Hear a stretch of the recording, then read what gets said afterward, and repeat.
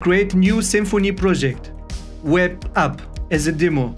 Symfony now is going to install all required dependencies to start this project. Let's step into that directory and let's look our new created directory and as we see here, Symfony already included Docker file. Let's clear and Symfony console make entity product, a property for our entity name, length. We just leave everything per default. Another property. Let's put price, float.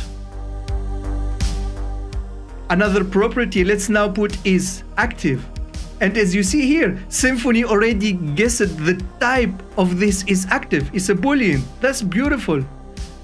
Let's continue. Let's create a CRUD for this entity. Symfony console make CRUD. The class name, of course, product, autocomplete works, beautiful. A CRUD created, ladies and gentlemen. Now let's initialize our database and our email server just simply using docker compose app in the daemon. And bam, a database server started, an email server started. Let's go, continue then. Symfony console migration. We create migration and let's now execute SQL query against our database to create this product CRUD we already created together. So we do Symfony console doctrine migration migrate.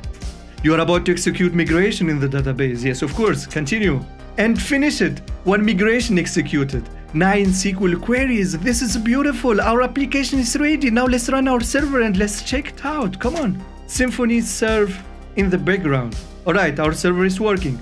Open our Chrome and let's put the product and BAM! We have a product page. Create new product.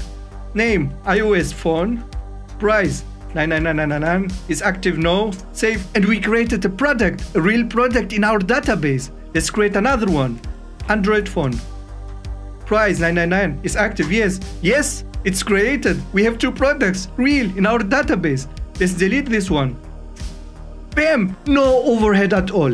HTML form, PHP, request processing, security, validation, database transaction, and really much more. And I did not write any line of code. And no, I'm not being paid to say this. Go and check the description, see the comment and write me what you think. Like the video and subscribe to my channel. Then go to the channel, check the videos and like each one of them. And comment again. And come back to this video and watch it again. Thank you.